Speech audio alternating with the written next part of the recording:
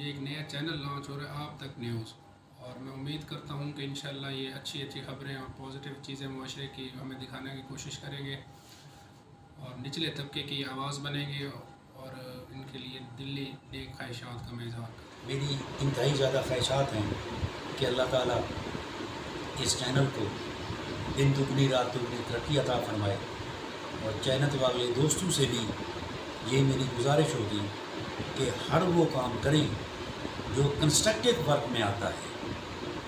और just for nothing जो काम होता है, जो कंस्ट्रक्टिव क्रिटिसिज्म है, उसको तो हम खुशरमदीद कहते हैं।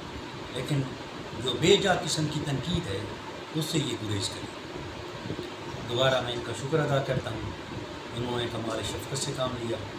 वो जैसे गरीब के पास आए, मेरी तमाम तर एहसास और जज्बात ख्वाहिशात इस चैनल के साथ हैं।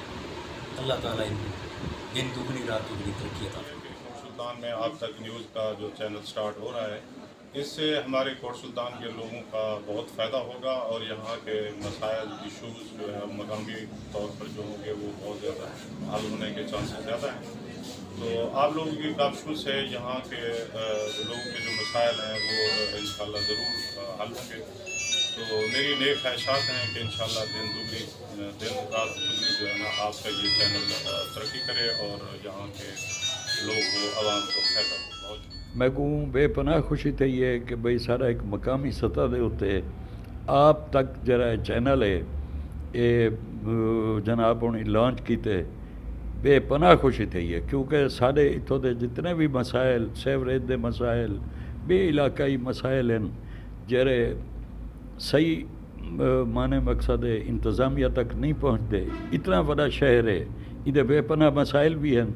लिहाजा जनाब के तवसत नाल थोड़े चैनल के तवसत नाल कम अज़ कम सारे इलाके के मसाइल हल थी सन।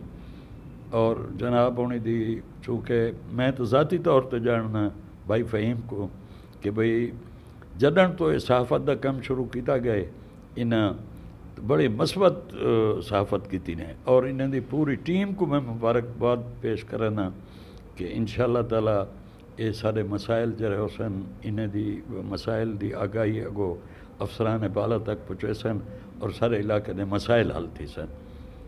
मेहरबानी।